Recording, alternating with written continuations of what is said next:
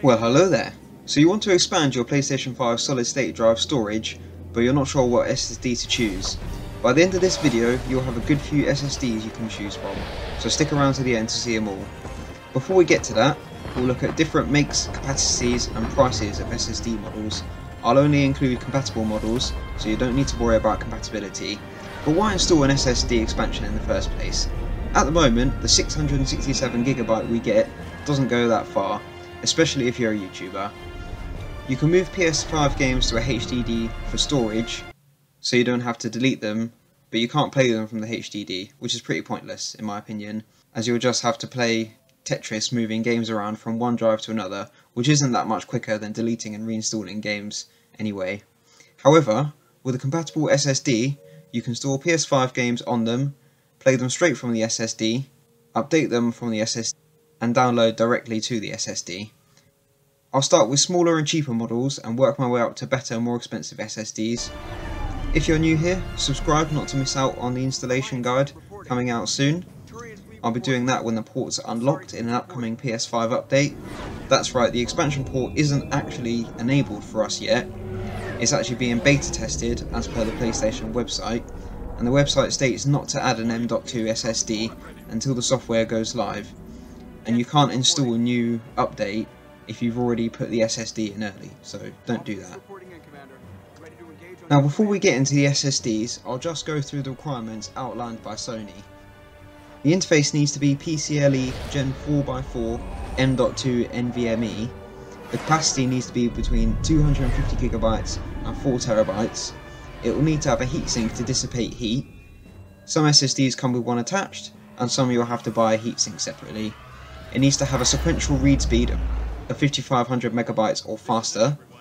The module width needs to be 22mm, as 25mm is not supported.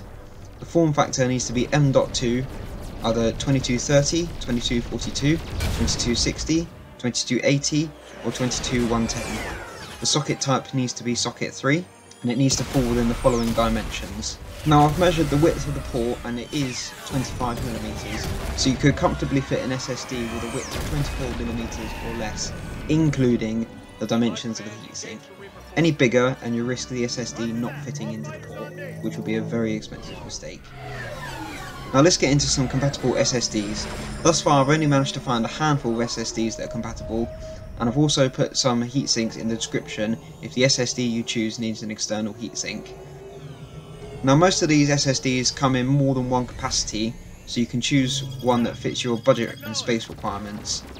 At number 5 we have the Samsung 980 Pro 500GB SSD. It's £109.99. Now this is a good one if you're looking to not break the bank, but you want some extra space. It will effectively double your storage, but it will need a heatsink. The cheapest heatsink I've found is $11.99, so the total price comes to $112.98. I expect the prices will be proportional in other currencies like the US dollar. Its dimensions are 8.01 centimeters by 2.21 by 0.24 and it has a read speed of 6900 megabytes a second. At number 4 we have the Seagate Firecuda 530 500 gigabyte internal SSD. It's £171.40. This one is credited by Push Square for being compatible.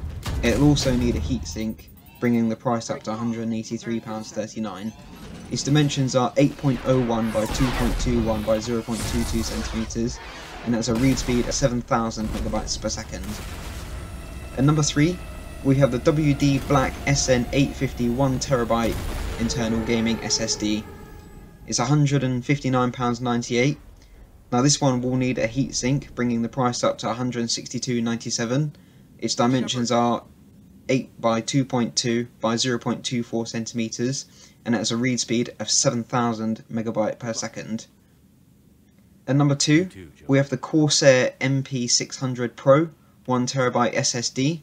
Now this is also one of the cheaper 1TB SSDs. It has a built-in heatsink. Its dimensions are 2.3 by 8 by 1.5 centimeters, and it has a read speed of 6,850 megabytes a second.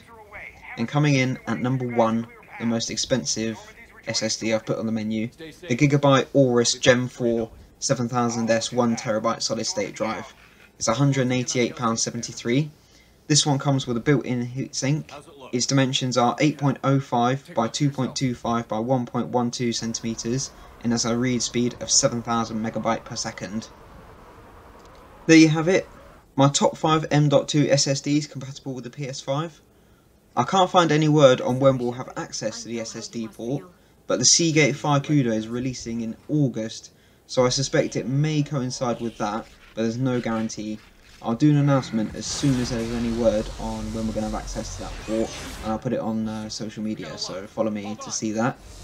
Let me know down in the comments what device you plan on using.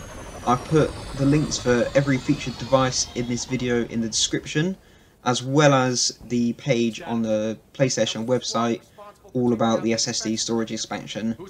Remember to like if you enjoyed the video and subscribe not to miss out on uh, future videos. I'll be doing an installation guide as soon as I get mine and as soon as that port is enabled for us non-beta users. And I will see you in my next video. Have a good one.